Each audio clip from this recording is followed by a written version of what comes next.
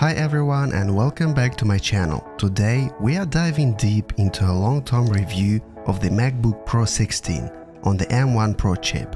I've been using this laptop for almost 3 years and I'm excited to share my honest experience about this incredible machine. This is so far the best tech investment I made in my life. Seriously, I'm not kidding you. Wanna know why? Watch this video. Let's start with the design and build quality. The MacBook Pro 16 maintains Apple's iconic aluminum unibody design. It's sleek, durable, and still looks as premium as it did on day one. After almost 3 years of daily use, it still looks brand new.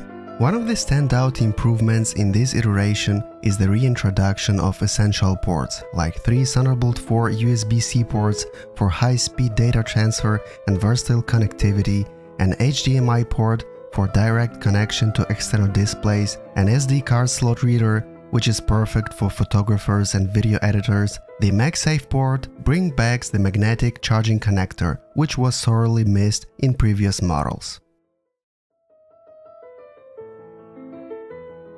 I'm glad I purchased the 16-inch model because it really makes a difference. You have more screen, you can do more things, it's really more comfortable to work on a bigger screen. Without a doubt, Apple's Retina XDR display with True Tone technology is simply stunning. The colors are vivid and the brightness levels are excellent. Whether you're editing photos, watching 4K videos or just browsing, the display has been a joy to use. The ProMotion technology makes web browsing such a pleasant experience. Once you will try the 120Hz Apple ProMotion display, you will never go back to the old style 60Hz displays. Even three years later, Apple is still using the same display in the latest M3 Pro MacBooks Pro, so it's still okay. Guys, before going further, I just want to show you a new accessory for my MacBook from the company called Moft. Moft is a premium Mac and iPhone accessories manufacturer. Recently, they've sent me their new magnetic leather sleeve for my Mac. First of all, the build quality is absolutely incredible. Moft uses a proper vegan leather material that imitates the real feel and leather texture. I have a lot of leather products, so I know how it should feel and trust me, their vegan leather feels like a real deal.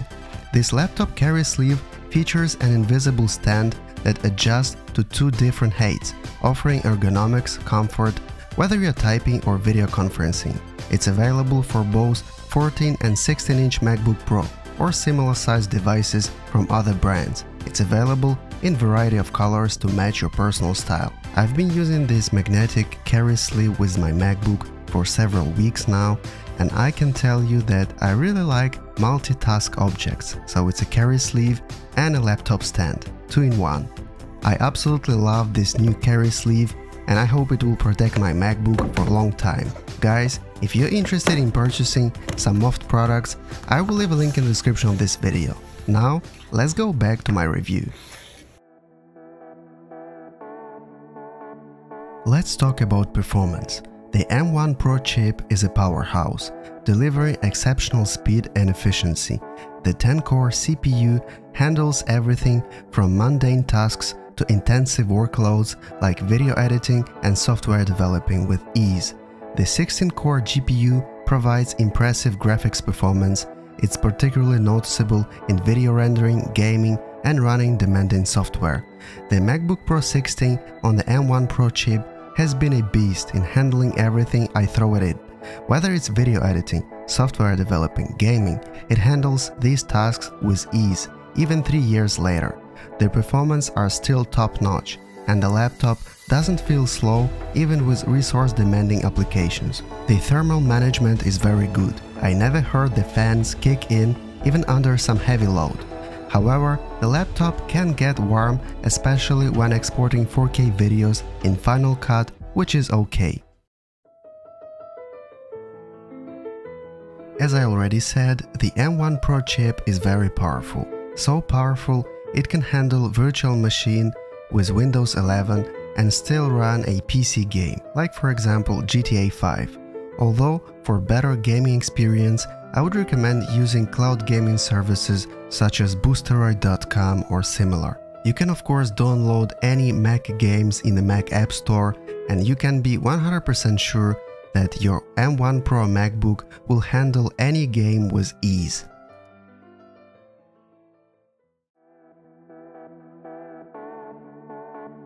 The battery life on the MacBook Pro 16 M1 Pro is nothing but extraordinary. Apple's claims up to 21 hours of video playback are not exaggerated, making it one of the longer lasting laptops in its class. For everyday use including web browsing, document editing and streaming, expect upwards of 14 to 16 hours, so a full working day on a single charge.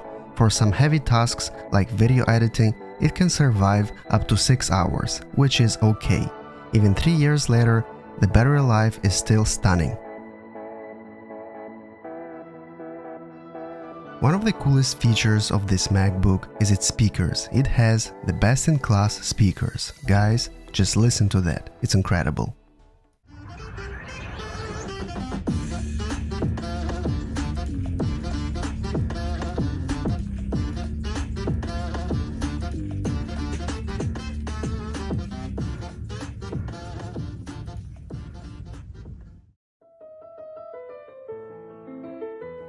This MacBook will easily be supported by future macOS updates up to 2030 or even longer. It's a safe investment for at least several years. From the latest information we know, it will support Apple Intelligence, so it's a good news. Probably, thanks to its machine learning cores, it can still handle AI tasks. Numbers are not lying. Let's run some numbers about this computer. I bought this machine for 2.5 grand. $2,700 to be exact. I'm using it for 3 years. Consider I will be using it up to 2030, so for 10 years in total. It makes 120 month. $2,700 divided by 120 month equals 22 bucks per month. It's a very good deal. Of course, it's my working machine, so the initial investment has been already paid off, but still, it's a good deal. Consider you will buy this computer for $1,500 and use it for 7 years. 1,500 divided by 7 years equals $18 per month. I just want to give you one advice. Don't save your money and get yourself the 1TB storage option because the more storage you have, the more time your computer will last you. Thanks for watching this video. If you found it useful, Please like it and subscribe to my YouTube channel for even more tech-oriented content. See you next time.